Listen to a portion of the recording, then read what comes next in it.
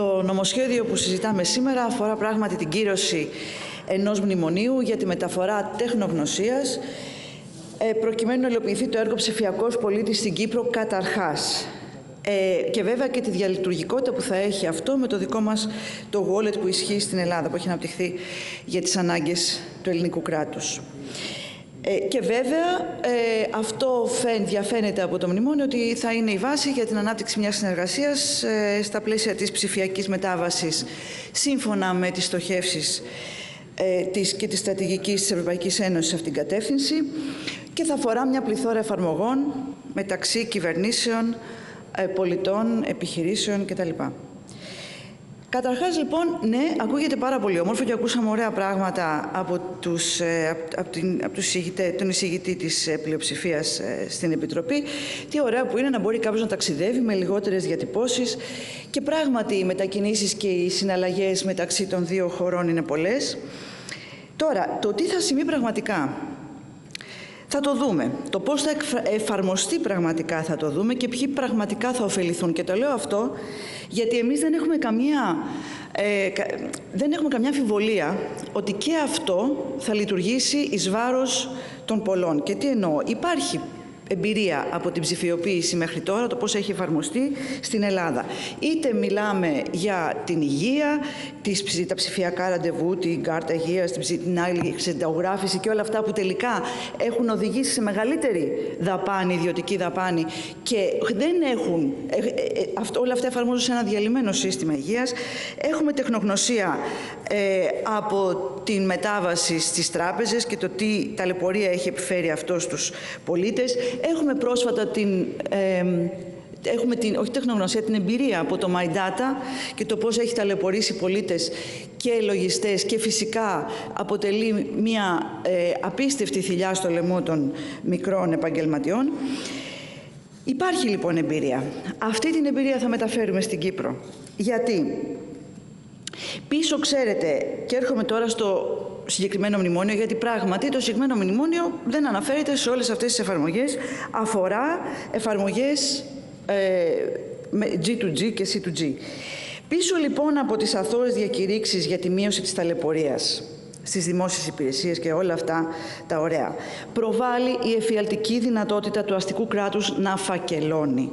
Να φακελώνει πολίτες και μάλιστα με την άδειά τους όπως προβλέπεται από τις οδηγίες, γιατί αυτό κάνουν πρακτικά ο κανονισμός 2016 679, 679 συγγνώμη, του Ευρωπαϊκού Κοινοβουλίου για την προστασία των ε, προσωπικών δεδομένων. Η ψηφιακή διασύνδεση των κρατικών υπηρεσιών και η ανάπτυξη ψηφιακού Μητρώου Πολιτών σημαίνει ενιαίο φακέλωμα του συνόλου των δεδομένων που παράγει ένας πολίτης ή που συνδέονται με έναν πολίτη. Είτε μιλάμε για το ιατρικό ιστορικό, την οικονομική κατάσταση, τα χρέη, το ποινικό Μητρώο, τις κινήσεις που κάνουμε ε, σε διάφορες συναλλαγές μας. Τα δεδομένα αυτά θα είναι διαθέσιμα για επεξεργασία και αξιοποίηση σε όποιον αποκτά πρόσβαση σε αυτό. Και δεν έχουμε εδώ διασφαλίσεις για το πώς αυτά θα, δεν θα αξιοποιούνται ενάντια στον πολίτη. Ή και βέβαια, μπορεί να μιλάμε τώρα για big data, αλλά πολύ σύντομα θα ανοίξει και αυτή η κουβέντα βέβαια. Ε, δεν έχω χρόνο να επεκταθώ παραπάνω. Περνάω στο δεύτερο ε, σημείο. Εμείς λέμε ότι από μόνη της η τεχνολογία δεν είναι ούτε θαυμαστή, ούτε επικίνδυνη όπως ακούστηκε στην συζήτηση στην Επιτροπή. Από μόνη της η τεχνολογική πρόοδος δεν αποτελεί κίνδυνο, αλλά ούτε και θαυματουργή λύση. Αυτό που της δίνει προοδευτικό ή αντιδραστικό πρόσημο σε κοινωνικό επίπεδο δεν είναι πόσο προωθημένη είναι τεχνολογικά μία εφαρμογή, αλλά ποιοι, ποια συμφέροντα καθορίζουν την ανάπτυξή της, ποιος την κατέχει και για ποιο λόγο τη χρησιμοποιεί. Όταν η ψηφιακή τεχνολογία υπηρετεί ένα άδικο σύστημα, ένα σύστημα που στηρίζει τις ανισότητες, τις αναπαράγει και τις διευρύνει, ο ψηφιακός μετασχηματισμός του κράτους των του κεφαλαίου, του κράτους των λίγων δηλαδή, των ισχυρών, δεν μπορεί να καταργήσει τους ταξικούς φραγμούς, ούτε να οδηγήσει σε λαϊκή ευημερία. Τρίτον, δεν θεωρούμε θα επιμείνουμε ότι την ίδια στιγμή που ζεστό χρήμα του Ταμείου Ανάκαμψης ρέει άφθονο προς τους ομίλους του κλάδου της πληροφορικής, οι επιπτώσεις της ψηφιοποίησης στους εργαζόμενους της κοινωνίας της πληροφορίας και στους ομίλους του κλάδου είναι σοβαρότατες. Είτε μιλάμε για επιδείνωση των συνθηκών εργασίας, είτε μιλάμε για την πασπερμία εργασιακών σχέσεων, την ευελιξία, την κινητικότητα, τη δραματική αύξηση των επαγγελματικών ασθενειών. Η ψηφιοποίηση δεν είναι ταξικά ουδέτερη. Ευνοεί τη λειτουργία του αστικού κράτους προς όφελος των λίγων, ενώ σφίγγει την ψηφιακή θηλιά γύρω από εργαζόμενους, μισθωτούς, αυταπασχολούμενους, μικρές επιχειρήσεις και ευάλωτες ομάδες. Οι θαυμαστές δυνατότητες της πληροφορικής, της ρομποτικής, της τεχνητής νοημοσύνης στα πλαίσια αυτού του συστήματος καπιταλιστικής ανάπτυξης δεν λειτουργούν σε προοδευτική κατεύθυνση. Είναι αντιδραστική εφαρμογή τους. Η απελευθέρωση των δυνατοτήτων αυτών των τεχνολογιών της, της επιστημονικής πρόοδου προς όφελος της κοινωνικής πλειοψηφίας προϋποθέτει έναν άλλο τρόπο οργάνωσης της οικονομίας και της κοινωνίας με κοινωνικοποιημένα μέσα παραγωγής και εργατικό λαϊκό έλεγχο.